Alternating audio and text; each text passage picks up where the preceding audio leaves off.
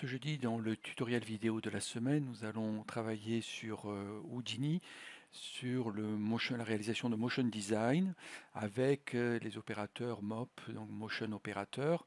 Euh, cette série de nodes va permettre de réaliser de manière assez classique, comme on peut retrouver sur d'autres logiciels de 3D comme Cinema 4D par exemple avec le mot graph, des mouvements d'objets, de formes, de décomposition et autres, tout ce qui fait donc euh, les actions de motion design, les opérations de motion design que l'on peut donc euh, réaliser.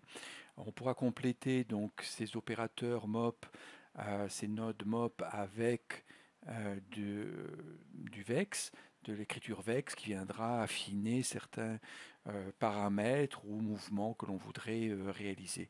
Donc c'est vraiment cet ensemble-là donc de nodes de type MOP et, SOP aussi bien entendu et euh, d'expression VEX qui vont nous permettre de réaliser du euh, motion design dans Houdini. Donc on va regarder euh, la réalisation de ce, ce, motion design ici qui est relativement simple en regardant les bases des nodes MOP que l'on va pouvoir donc utiliser. Donc, dans un premier temps, il faut euh, installer euh, les nodes MOP. Donc, on peut les télécharger donc, euh, ici dans le site. Donc, voilà. OK. Voilà, on peut les télécharger ici. Et il y a les notices d'installation, enfin le texte d'installation. Donc, ce qu'il faut faire attention, il faut le poser donc à, sur un endroit et sur le disque dur et euh, venir paramétrer le Houdini euh, environnement ici. Donc euh, le, texte à, rentrer, il est ici, c'est ces deux lignes-là. par rapport à l'endroit où on a positionné donc le dossier MOP.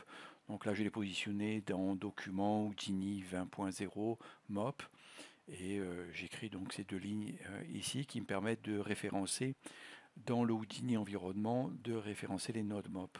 À partir de là, je relance euh, Houdini et je vais avoir donc la possibilité de retrouver en haut euh, à droite ici dans les shelves donc euh, les MOP et MOP Tools ici des onglets que je vais pouvoir donc enclencher si je veux les utiliser sous la forme des onglets ici des deux éléments, série d'éléments ici. Et euh, aussi et surtout, je vais retrouver donc la possibilité dans une géo. Donc euh, voilà, si je fais euh, géo, géométrie, ici, à l'intérieur de la géométrie, bouton droit la souris, je vais avoir les MOP ici, donc classés par quatre catégories, Fall Off, Générateur, Modifieur et Tools ici. Donc on voit qu'on a quand même pas mal donc, de nodes qui vont nous euh, permettre de faire euh, beaucoup d'actions, de, d'opérations euh, pour, pour réaliser du, motion design. Donc bien entendu, ici on va en voir quelques-unes. il y a d'autres tutos du jeudi qui sont sur les MOP déjà réalisés et qui, sont, qui restent tout à fait valables puisque les, les nodes MOP ont un peu évolué, mais, mais, pas trop, et donc dans les, ceux de base, euh, on peut réutiliser donc euh, les, euh, ce que l'on réalise donc dans les précédents tutoriels du, du jeudi. Ok, donc ici on va avoir donc différentes catégories de MOP. Donc on va par exemple utiliser au début les mobs générateurs et notamment le mob instance ici qui permet donc de, comme son nom l'indique, d'instancer un objet sur une forme ou un, plan ou autre chose ici à ce niveau-là. Donc je vais venir décrire les différentes opérations que j'ai réalisées pour venir donc réaliser l'animation que l'on a vue, le motion ici de mouvement de changement de, fleurs. Donc euh, on va, on va partir donc d'un élément file ici, euh, donc d'une d'un élément donc hop ici que l'on voit, voilà, ok, ici qui est un élément géométrique hein, euh, que l'on va donc transformer juste ici pour le mettre à plat, moins 45, pas tout à fait à plat, un peu en diagonale. Euh, éventuellement, je lui mets un matériel, mais on devra le, remettre euh, ici. Et on va venir, donc sélectionné, voilà. Pavé fleur, et ici je l'enlève. Ok. Ok, ici, donc voilà. On va faire un repack pour euh, avoir une primitive euh, intègre, et ici, par rapport au fichier euh, que l'on a importé, qui est un fichier FBX, que j'ai pris sur CGTrader, euh, qui est gratuit, donc vous pouvez euh, le retrouver donc sur CGTrader euh, gratuit. On a un ensemble comme ça de formes ornementales gratuites que l'on peut donc utiliser pour faire ce genre de, de visuel. On va donc utiliser le node mop instancer ici, qui va voilà, avoir ce résultat-là. Alors là, on a un éclairage qui est déjà en place, j'y reviendrai dessus. Donc c'est pour ça qu'on a une variation donc, de, luminosité. Ça n'a rien à voir avec le mop instancer, c'est juste le fait qu'il y a euh, deux point light, une en dessous un peu plus forte et une au-dessus euh, très légère. Euh, de, du plan ici qui est défini par le mop instancer. Donc le mop instancer est un générateur, hein, comme on l'a vu dans les catégories mop, euh, générateur, mop instanceur, il y en a d'autres bien entendu euh, ici. Et on va pouvoir donc avoir euh, trois onglets, deux principaux instancing et distribution. Sur quoi on le distribue? Ici sur une grille, mais on peut très bien le distribuer sur un mesh, sur une curve, sur d'autres types d'éléments ici. Donc je prends la grille de base. Quelle est l'instance que l'on va donc réaliser ici? Et donc c'est l'objet, euh, la forme géométrique qui arrive donc en input ici qui est dupliquée, donc euh, euh, la forme ornementale de la fleur est ici, qui est dupliquée et que l'on va donc retrouver à la place de chaque point de la grille, bien entendu, que l'on a, que l'on utilise. Donc si on veut une forme différente, bien entendu, dans la distribution, on utilisera soit sa propre grille, éventuellement en mettant un mesh, soit une forme différente, et ainsi de suite. Voilà. Donc on pourra euh, utiliser, mais à savoir que c'est sur chaque point que se, positionne euh, l'instance euh, ici donc de la fleur ornementale. On va pouvoir mettre donc un index mode, ça c'est assez important éventuellement si on veut retravailler après sur la notion d'index pour colorer, pour déplacer, pour scaler, pour mettre en rotation. Donc là on est en mode random euh, ici et avec un index random seed euh, qui est à 0 ici que l'on peut donc euh, changer. On a donc la possibilité donc en option de venir jouer sur uniform scale ici j'ai réduit à 0,1 pour que ça rentre sur la grille de base ici. Et on a donc une orientation ici à 45 degrés. Mais ça, c'est l'orientation qui est donnée au départ par euh, le transform ici de, base. OK. Donc on retrouve donc des instances copiées euh, ici sur une grille. OK. Donc ensuite, on va remettre le matériel euh, ici. on reviendra sur le matériel. On va utiliser donc un node mop aim qui est un mop qu'on va retrouver donc dans les modifieurs, donc bouton droit la souris, mop, euh, modifieur, mop aim, mop aligne, on a plein de, de mobs qui permettent donc randomize ici, randomize, euh, ok, et euh, qu'on utilise du reste, que j'utilise juste en dessous. Donc mop aim ici va permettre donc de, comme son nom l'indique, de venir aimanter donc par rapport donc à une position ici qui est centrale euh, et que l'on peut donc euh, bouger. Euh, up vecteur, M position ici. et on va pouvoir donc aim axis, up axis, pour pouvoir donc, par exemple si je fais reverse, pour pouvoir donc orienter, aimanter donc l'orientation ici des, des éléments, reverse up, voilà. Et donc on peut changer bien sûr les axes, on a les trois axes ici. Ok, ça c'est pour le mop aim qui me permet d'avoir donc ce résultat ici, donc euh, des fleurs à 45 degrés, réorientées, donc recentralisées par rapport donc euh, euh, au, à la position du mop aim. Ensuite, on a le randomize ici. On va l'utiliser donc pour deux. on peut l'utiliser pour plusieurs choses. On peut l'utiliser pour la position, pour l'orientation. on peut l'utiliser ensuite pour euh, le scale, l'uniform scale, euh, on peut l'utiliser pour la color, pour d'autres paramètres, randomize over, ici. Et donc chaque fois qu'on clique sur Randomize, ici, on a les paramètres qui apparaissent. Donc ici, l'orientation, donc moins 30, 30, moins 30, 30, comme ça, on bouge un peu par rapport au aim que l'on avait. Donc on a une légère, un léger décalage d'orientation, de, rotation ici sur les objets.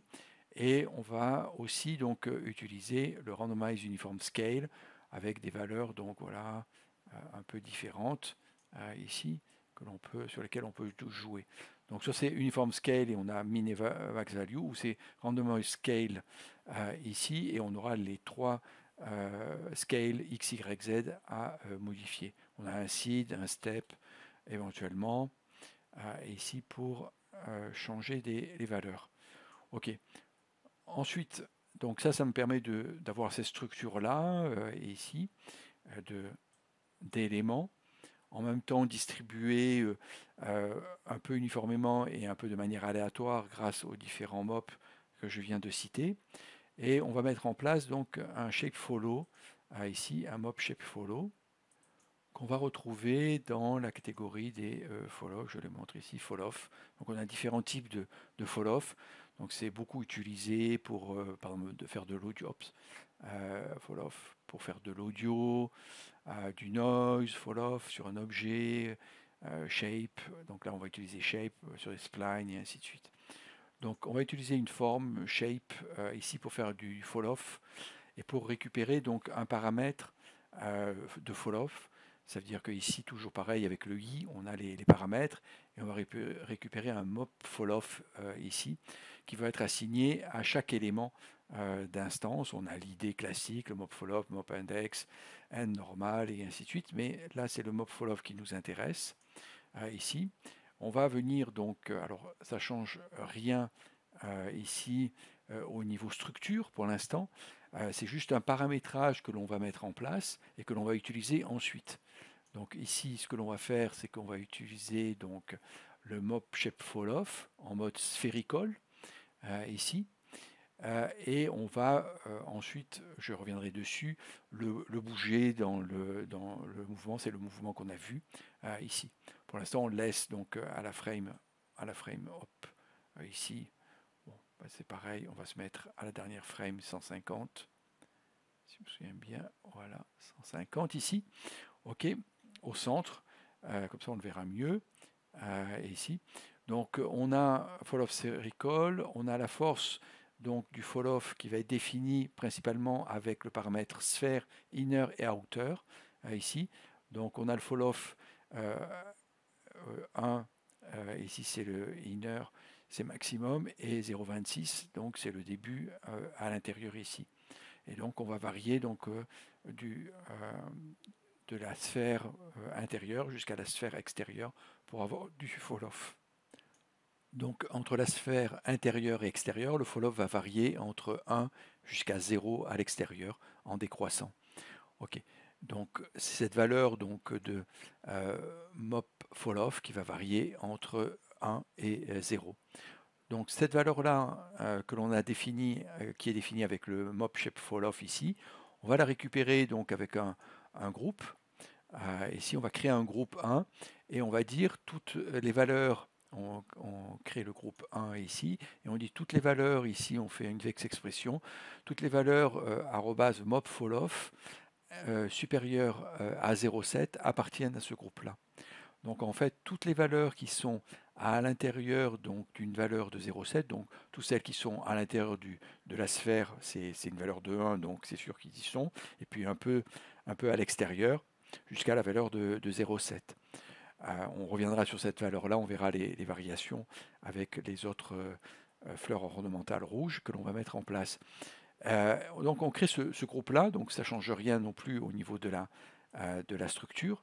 ici, on a le groupe de, départ et on va donc venir extraire, donc, alors on fait un mop extra attribute ici qui va permettre de récupérer donc euh, les points de pivot et euh, des valeurs de, scale ici euh, que l'on va pouvoir réutiliser donc ensuite.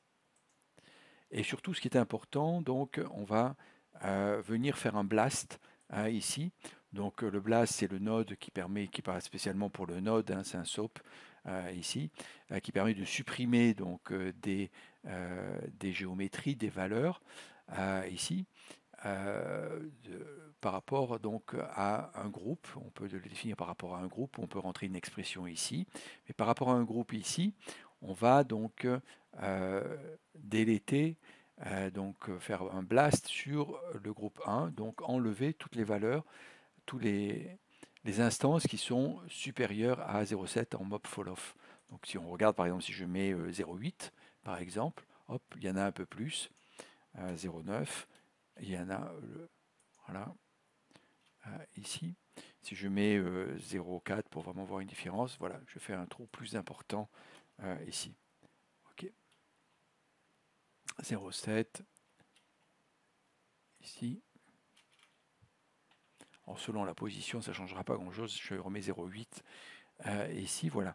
Et donc, ça permet de supprimer euh, ici les, valeurs pour les remplacer euh, par un autre élément. C'est ce qui va me permettre, ici, en faisant le merge, de les remplacer par ces fleurs rouges ornementales. Donc, de la même manière, donc ici, on va, je vais aller plus vite. On a donc ici le file, le matériel rouge.